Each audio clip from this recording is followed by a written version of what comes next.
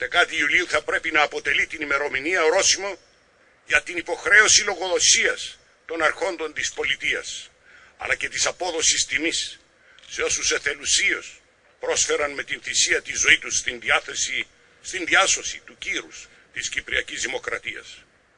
Δεν είναι εξάλλου άσχετες με τα γεγονότα οι προτάσεις μου για τις συνταγματικές εκείνες αλλαγές, με τις οποίες η ασυλία του Προέδρου θα περιορίζεται στο ελάχιστο, με τη συγκεκριμενοποίηση των πολιτικών, αστικών και ποινικών ευθυνών, τόσο του ιδίου όσο και των υπουργών της εκάστοτε κυβέρνησης.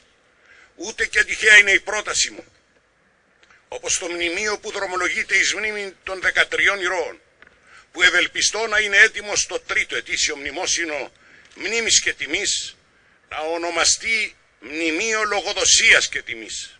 Λογοδοσίας για όσους των πολιτιακών αρχόντων αρνούνται να λογοδοτήσουν και εμπράκτος να αναλάβουν τις ευθύνες των πράξεων τους ή των παραλήψεων τους, αλλά και φόρος τιμής για τους αδικοχαμένους ήρωες μας.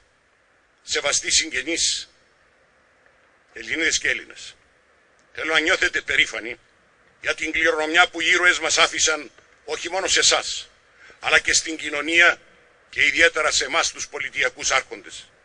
Μιας κληρονομιάς που σε εσάς αποδίδει την υψίστη τιμή και εμάς την μεγίστη ευθύνη.